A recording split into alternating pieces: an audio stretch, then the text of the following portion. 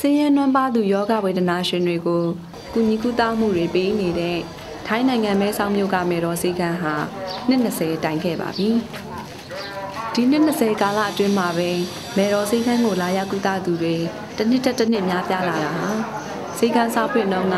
တစ်နှစ်ကိုလူနာ1800လောက်သာရှိခဲ့ပေမဲ့2008ခုနှစ်မှာဆိုရင်လူနာတသိန်းနီးပါးရှိနေခဲ့တယ်လို့သိရပါတယ်။စိတ်ခမ်းမှာလာရောက်ကုသတဲ့သူအများစုဟာ ငှက်ဖျားယောဂနဲ့ရောက်လာကြတာဖြစ်ပြီးအခြားသောယောဂနဲ့လူနာတွေကိုဝန်ဆောင်တွေလည်းနှစ်စဉ်နဲ့အမျှတိုးလာခဲ့တာဖြစ်ပါတယ်။မေတော်စိတ်ခမ်းရဲ့အနှစ်20ပြည့်အခမ်းအနားမှာဒေါက်တာစင်တီယာမောင်နဲ့တွေ့ဆုံမေးမြန်းခွင့်ရတော့သူကဒါကျမတို့ဆေးကန်းစဖွင့်တဲ့အချိန်ကနေပြီးတော့ကြည့်မယ်ဆိုရင်တော့ဒါငှက်ဖျားယောဂါကတော့လက်ရှိထိဒါအဓိကကြတဲ့ပြဿနာတွေမှာပါပါတယ် ဒါအပြင်ပေါ့နော်ဒီငှက်ဖျားနဲ့ငှက်ဖျားယောဂအပြင်ပေါ့ဒီ TB ယောဂ HIV တွေကလည်းဒါကျမတို့လူထုအတွက်ဒါအဓိကနော်ဒီအရေးကြီးတဲ့ပြဿနာတစ်ခုဖြစ်သလိုနော်ဒီအာဟာရချို့တဲ့မှုတွေနောက်တော့ဒီမြေမြုပ်မိုင်းနဲ့တိုက်ပွဲဒဏ်ရာတွေနောက်ရှုပ်ပိုင်းဆိုင်ရာစိတ်ပိုင်းဆိုင်ရာပေါ့နော်စိတ်ပိုင်းဆိုင်ရာပြဿနာတွေနောက်တစ်ချိန်တည်းမှာပဲကျမတို့ဒီ music ပွားဆိုင်ရာကျမကြီးပြဿနာတွေပေါ့နော်ဆိုတော့အားလုံးကတော့ဒီဟိုယောဂတွေကတော့ ဒီအသက်မွေးကင်းစားနေပြီးတော့ဒီသက်ကြီးရွယ်အိုအထိပေါ့နော်ဒါကတော့သူ့ဟိုအသက်အရွယ်လိုက်သူခန္ဓာလိုက်အရေးကြီးတဲ့ပြဿနာတွေကတော့အများကြီးပါပဲမေတော်စိတ်ခတ်မှာဆေးလာကူးတဲ့သူထက်ဝက်လောက်ဟာမြမပြည်တွင်းကလာတဲ့သူတွေဖြစ်ပါတယ်ဒီလိုပြည်တွင်းကဆေးလာကူးတဲ့သူတွေနဲ့ပတ်သက်ပြီးပြည်တွင်းကျန်းမာရေးဆောင်ရှောက်မှုအခြေအနေတွေကိုသူကအခုလိုဆက်ပြောပြပါတယ်။တော့အထူးသဖြင့်တော့ကျမတို့ ပြည်သူလူထုအတွက်เนาะအခြေခံအကျဆုံးဖြစ်တဲ့ကျန်းမာရေးလူမှုရေးဆောက်ရှောက်မှုတွေเนาะဒီတစ်ချိန်တည်းမှာပဲကျမတို့ပြည်သူလူထုတွေရဲ့ဒီစိတ်ပိုင်းဆိုင်ရာရုပ်ပိုင်းဆိုင်ရာလုံခြုံမှုတွေမရှိတဲ့အတွက်ကြောင့်ဒီလိုနော်ဒီတိုင်းတခြားနိုင်ငံတွေမှာလာပြီးတော့ဆေးဝါးကုသတာတို့လောက်ကင်စားတောက်ရတာတို့ပညာလာသင်ရတာတို့တွေ့ရတဲ့အတွက်ကြောင့်နော်ကျမတို့တိုင်းပြည်ရဲ့အခြေအနေကနော်လူသားတယောက်အနေနဲ့နော်သိခါရှိရှိနဲ့ နော်ဒီလူမှုအတိုင်းဝိုင်းတစ်ခုတိုးတက်ဖွံ့ဖြိုးအောင်ဆောင်ရွက်နိုင်တာမျိုးဒီအခြေအနေတွေကင်းကွာသွားပြီးတော့နော်ပို့ပြီးတော့ပဲနော်ဒီတခြားအိမ်နီးချင်းနိုင်ငံတွေမှာပဲလာပြီးတော့ခိုးလှုံနေရတဲ့လူတွေကပုံများလာတာတွေ့ရတဲ့အတွက်ကြောင့်ကျမတို့တန်းပြည်ရဲ့အခြေအနေကတော့နော်ကျမတို့လူသားတယောက်ချင်းစီရဲ့လုံခြုံမှုနော်လူမှုအဖွဲ့အစည်းတစ်ခုရဲ့လုံခြုံမှုတွေအလုံးကိုထိခိုက်နေတယ်လို့ပြောချင်ပါတယ် 88လူထုလှုပ်ရှားမှုနောက်ပိုင်းမှာထိုင်းမြန်မာနယ်စပ်ရောက်မြန်မာចောင်းသားတွေရဲ့ကျန်းမာရေးစောင့်ရှောက်မှုတွေအတွက်မဲဆောက်မြို့ကမေတော်စေကန်းကို1989ခုနှစ်ဖေဖော်ဝါရီလကစပြီးဒေါက်တာစင်တီယာမောင်ကဦးဆောင်လို့ဦးတိုက်စိုးဦးဝနဦးချစ်ဝင်းဆီယမနော်ထူးနဲ့ဦးစိန်ဟန်တို့6ယောက်ကတည်ထောင်ခဲ့ကြတာဖြစ်ပါတယ်။အနှစ်20ဖြတ်တန်းလာတော့ကြုံတွေ့ခဲ့ရတဲ့ခက်ခဲတွေနဲ့ရှေ့ဆက်ဘာတွေလုပ်သွားမလဲဆိုတာကိုမေးကြည့်တော့သူကကျမတို့ရောက်ခါစားကတော့ဒါကျမရေးကိုပဲအခြေပြုပြီးတော့စဉ်းစားပြီးတော့ဆောင်ရွက်ကြတယ်ပေါ့နော်အဓိကငှက်ဖျားယောဂါကကျမတို့အဓိကပြဿနာဖြစ်တယ်စာနာရိတ်ခါလုံလောက်ဖို့ကအဓိကပြဿနာဖြစ်တယ်ဆိုပြီးတော့ဆောင်ရွက်ကြတယ်သို့တော်လည်းအဲလက်ရှိ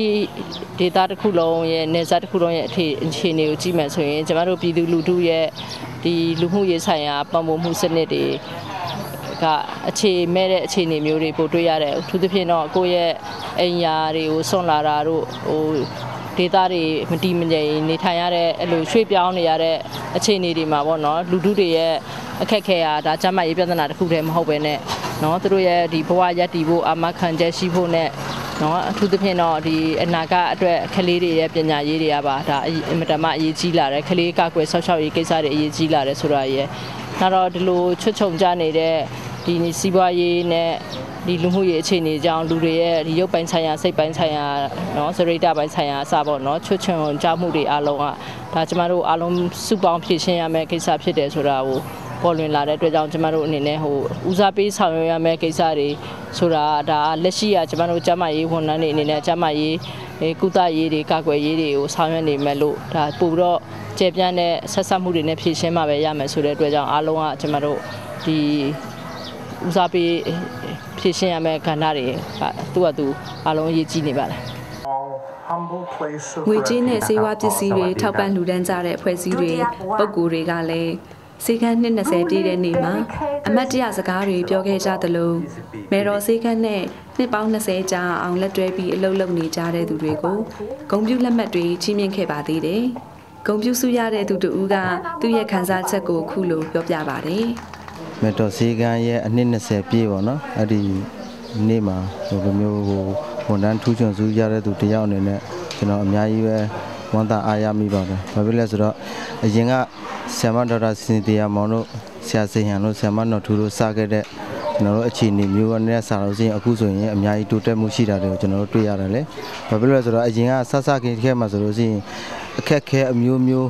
အန်ဒီရဲ့အမျိုးမျိုးကြားကနေပြီးတော့ဟို ဖြတ်တန်းကြော်လွှားလာခဲ့ရတယ်အဲ့ဒါကြောင့်ကျွန်တော်တို့ဒီ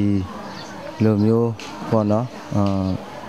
ဘယ်လိုပြောတဖြည်းဖြည်းနဲ့တိုးတက်လာတယ်တဖြည်းဖြည်းနဲ့ဘယ်လိုပြောလူသိရှင်ကြားလည်းဖြစ်လာတယ်ပေါ့နော်အဲ့ဒါမျိုးနောက်ပိုင်းမှာပါလဲဆိုတော့ဒီ